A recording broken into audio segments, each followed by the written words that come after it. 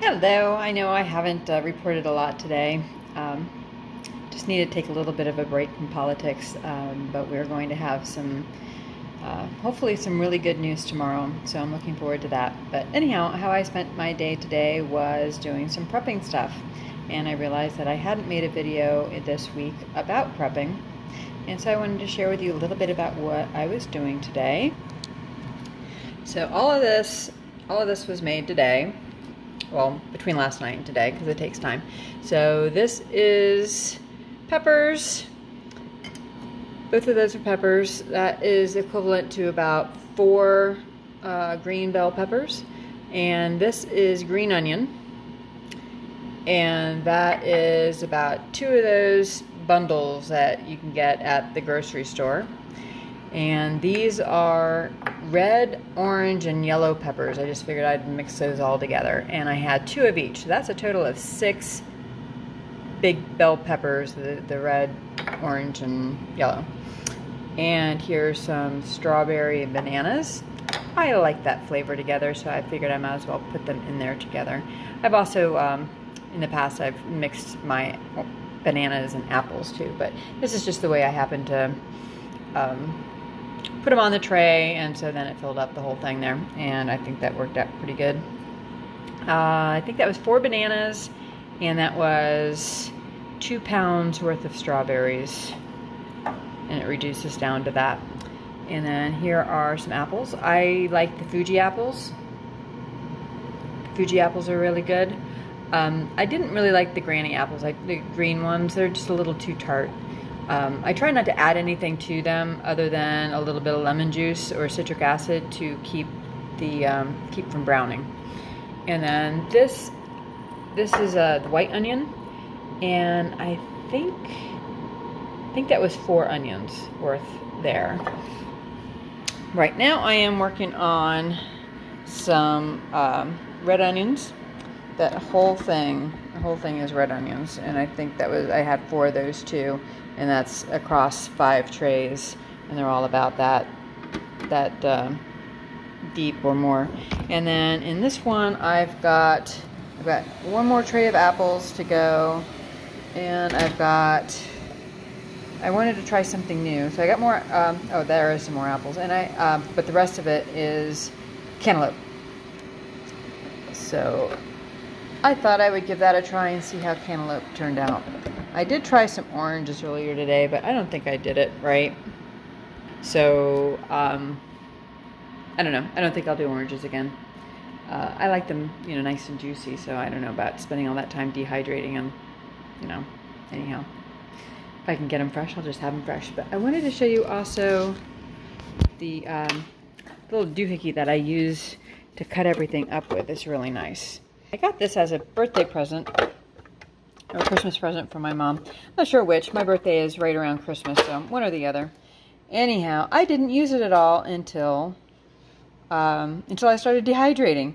Um, so this is a um, the one I use for the onions um, and the peppers because that cuts them up into little little chunks. And then uh, this is the one that I use for bananas and apples and I just have it so that it will fit in between these two here just to try and keep the, the pieces as, as large as possible. And then this doohickey is supposed to clean that out.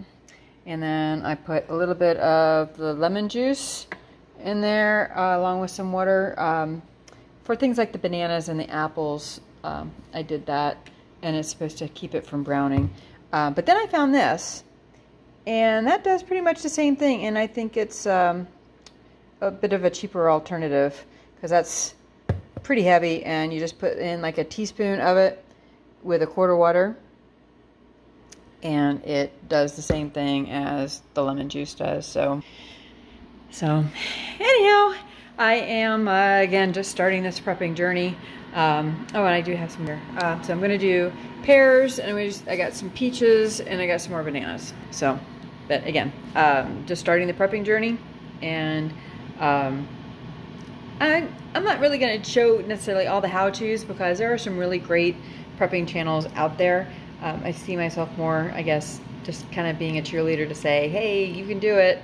and because um, I'm brand new at it, and um, sometimes some of those uh, prepping channels are a bit intimidating because they've been doing it for so long, and it just seems kind of too hard.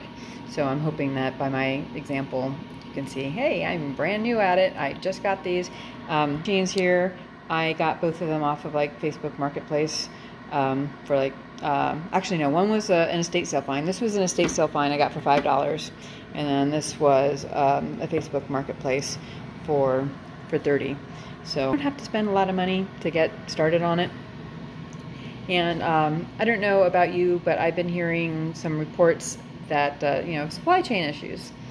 And I've heard that there are container vessels, um, like 88 of them outside of Los Angeles um, port. And it's like, well, why are they backed up so much? And I've heard that it's strikes. I've heard that is, you know, truckers um, not being available, uh, partially because of perhaps of striking uh, or working, uh, slowing down purposely. But also, I've heard it's because trucks are um, broken. They're broken down, and parts are hard to get. And those parts come from China. I think I reported on that earlier today. So it kind of disrupts the whole supply chain. And our supply chain has always been, um, in the modern era, has always been a um, just in time sort of situation. So when something, some wrench gets thrown in there, then everything gets out of whack. Um, take a look at the lumber. What happened to lumber this past summer? It went from a piece of plywood being 20 to 30 dollars to going all the way up to 110. Uh, simple two by fours went from being 350, you know, 380, um, a, a, two by four, to being you know nine dollars for a simple two by four. Um, and now they've come back down.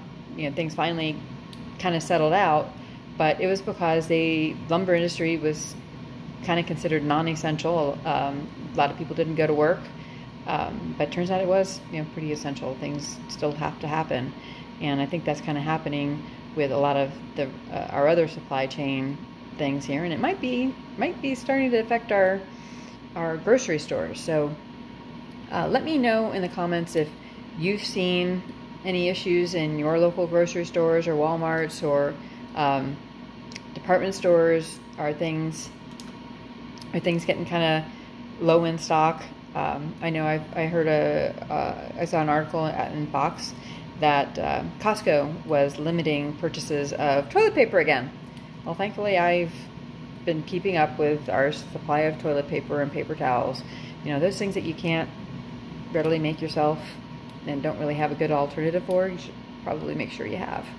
Um, so anyhow, um, food of course is really important. So um, take some time to try and stock up on some things. You know, don't don't do anything that is going to put you in the poorhouse and make it so you can't afford your mortgage.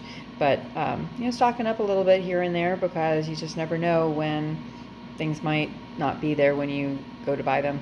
So um, anyhow, let me know what you think in the comments down below. Um, and I would appreciate it. And if you have um, photos, um, I have an email in my About Me. Uh, you're welcome to send me photos. I would love to be able to share them um, because I only go to a couple different stores around here, and um, I'll share some of my photos the next time I go in, and uh, I'll let you know. So, anyhow, God bless. keep praying God is in control and um, keep the faith. I'll talk to you later. Bye.